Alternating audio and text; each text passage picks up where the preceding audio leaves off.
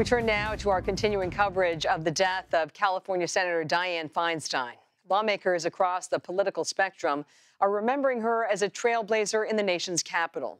But her career began in San Francisco local politics, where she served on the city's Board of Supervisors and later as mayor.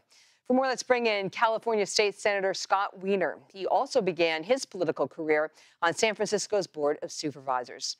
So thanks for joining us. Tell us about the one personal experience with the senator that you're going to remember most. Well, I, she, Senator Feinstein, uh, has San Francisco is part of her DNA, and she's part of San Francisco's uh, DNA for more than 55 years. Uh, she was uh, just a, at the core of San Francisco politics uh, and just an incredible uh, trailblazer. Um, my uh, fondest memory of Senator Feinstein was when I was running for my first uh, term on the San Francisco Board of Supervisors in 2010. Uh, and she endorsed me, which is not something she did often. Uh, and she wanted to meet with me. So I went into her office. She was one of the most powerful uh, people in the US. I figured I would have like three minutes with her. I brought a photographer uh, to get a photo for the campaign. and she spent over an hour with me. She sat with me uh, talking about her time on the Board of Supervisors, which she clearly was very nostalgic about.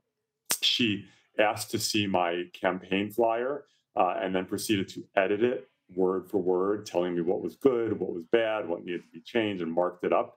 Uh, uh, her aide came in and said, Senator Schumer's on the phone uh, for you. And she said, I'll call him back. So she picked me. I was like this nobody running for office, and she stayed with me. And then when I went to take a photo with her, uh, she looks at me and she says, uh, Can I put my arm around you? And I said, Sure.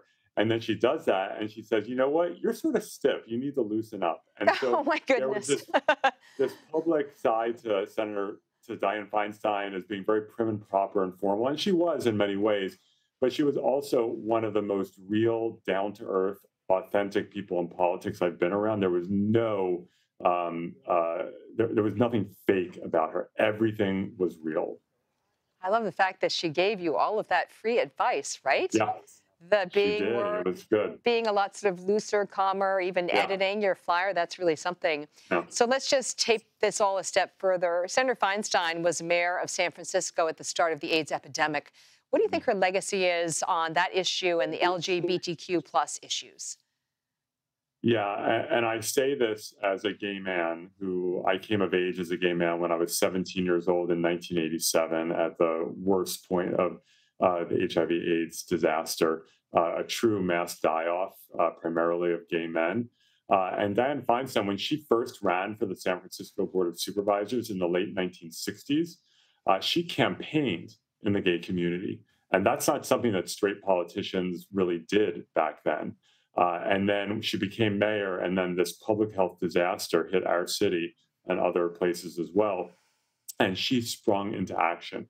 And she listened to her health experts and to LGBTQ community leaders. Uh, and she uh, spearheaded deep investment in the public health response to HIV/AIDS in San Francisco to the point where San Francisco was spending more in response to HIV/AIDS than the entire federal government uh, spent. And we ended up, because of her leadership, uh, building a model around HIV/AIDS in San Francisco that was then replicated around the world. So she showed she showed absolute tremendous leadership on this issue. Just in the final 30 seconds, the California governor now faces the task of appointing someone to fill the senator seat. Who are the leading candidates?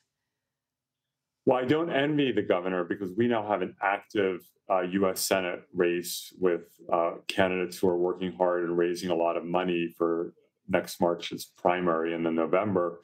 Uh, and the governor has publicly said that he intended he intends to appoint a black woman. Uh, and he said recently that he would be appointing someone who would not be uh, running again in November. Uh, and so he has a, a tough choice. I don't know who he's going to appoint. There are a lot of highly, exceptionally qualified candidates. Uh, and I'm confident that the governor will make a solid choice and someone who will represent California well. I do not envy him uh, this decision. California State Senator Scott Wiener, thank you for sharing your personal memories of Dianne Feinstein. Thank you so much.